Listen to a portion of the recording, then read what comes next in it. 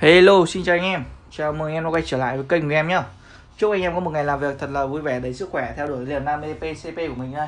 Đấy, tiếp tục lại làm một cái video clip ngắn nhá. Đấy, hôm nay tiếp tục lại giới thiệu cho anh em về một cây condo U đây. Cây condo U thì là cây condo U này, cây condo U thường, cấu hình tập trung. Cấu hình tập trung anh em nhé. Đấy, với cái giá công khai luôn cho anh em là 6 triệu. Đấy, cây này chỉ 6 triệu thôi, những cây khác nó rơi vào 6 triệu 7, 6 triệu 8 nhưng mà cây này em lên là tay cầm nhựa. Nó chỉ rơi vào 6 triệu. Là anh em được cả một cây như này rồi kính là kính ngắm ờ, Discovery VTR đấy cả cây này chỉ giá 6 triệu. Bây giờ em sẽ giới thiệu qua về cách thức giao dịch và cách thức mua bán nhá.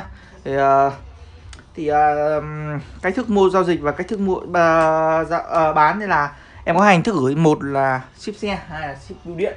Đấy có hai hình thức gửi anh em nào thích hình thức gửi nào thì anh em có thể alo trực tiếp. Còn bây giờ em sẽ báo giá công khai trực tiếp về cây condo thẳng dài à cây condo u này nhá. Đấy bộ combo khung vẫn là một triệu rưỡi anh em nhá. Khung ý kia tám tám bốn một triệu rưỡi. Đấy van là van. Van uh, cricket đen nhá. Van cricket đen. Khớp thì là khớp u bình là bình nhôm.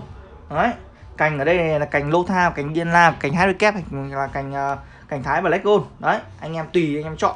Cành ở đây em bao cho anh em tầm 80 m ăn 5 c 2 đấy uh, kính ở đây là kính Discovery VTR em là bán với giá là một triệu thôi. Đấy giảm là giảm sumo giảm sumo anh em nhé. Đấy cả cây này nó chỉ rơi vào 6 triệu thôi. Đấy anh em nào mà chưa biết lắp ráp thì em có hỗ trợ anh em phần lắp ráp. Đấy lắp ráp khung cò ruột tất cả các thứ. Uh, gửi cho anh em một đơn đàng hoàng thôi nếu mà gửi xe. Còn nếu anh em gửi bưu điện thì em sẽ tách bóc đóc tách ra thành hai đến đơn ba đơn để em gửi cho anh em.